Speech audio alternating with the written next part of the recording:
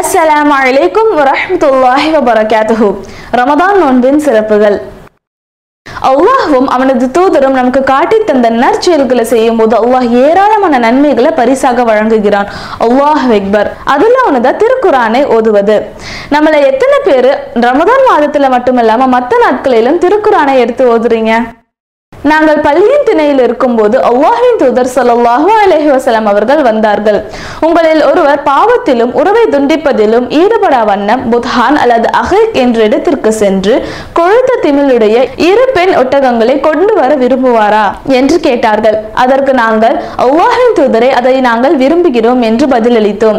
உங்களில் ஒருவர் அதிகாலையில் பள்ளிக்கு சென்று மகத்துவமும் கண்ணியமும் நிறைந்த அவ்வாஹுவின் வேதத்திலிருந்து நம்மளுடைய வேதம் எனது திருக்குர் ஆன் திருக்குறானில் இரண்டு வசனங்களை எடுத்து ஓதக்கூடாதா என்று கேட்டார்கள். அவ்வாறு சென்று குரானில் இருந்து இரண்டு வசனங்களை ஓதுவது இரண்டு பெண் ஒட்டகங்களை விட சிறந்ததாகும். மூன்று வசனங்களை ஓதுவது மூன்று பெண் ஒட்டகங்களை விட சிறந்ததாகும். நான்கு வசனங்களை ஓதுவது நான்கு ஒட்டகங்களை விட சிறந்ததாகும். இந்த அளவுக்கு வசனங்கள் இதே அளவுக்கு ஆண் ஒட்டகங்களை விட சிறந்ததாகும் என்று சொன்னார்கள். இன்ஷால நம்ம ரமதான் மாதத்துல மட்டும் இல்லாம மற்ற நாட்களிலும் திருக்குறானை அதிக அதிகமா ஓதணும். ஜசாக்குல்லாஹு ஹைரன்